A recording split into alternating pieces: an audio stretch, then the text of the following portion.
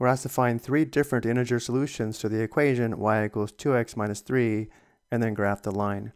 Each solution is an ordered pair in the form of x comma y that satisfies the equation or makes the equation true.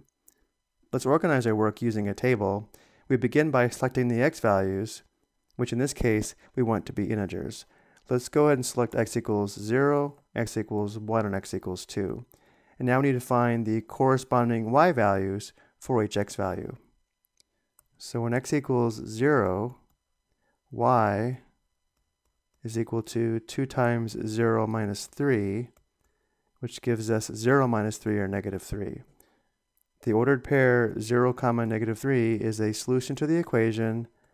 It also represents a point on the graph. Next, when x equals 1, y must equal 2 times 1 minus 3, 2 times 1 is 2.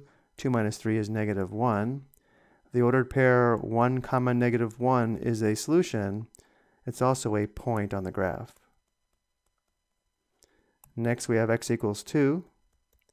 When x is equal to 2, y must equal 2 times 2 minus 3, which gives us 4 minus 3, or positive 1. The ordered pair 2 comma 1 is a solution. It's also a point on the graph.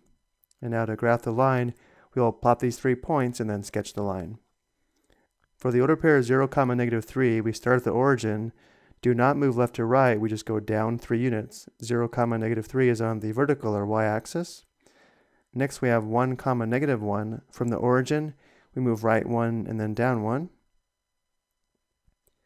Next we have 2, comma 1. From the origin, we move right 2 and up 1. The graph of y equals 2x minus 3 is the line passing through these three points and looks like this. I hope you found this helpful.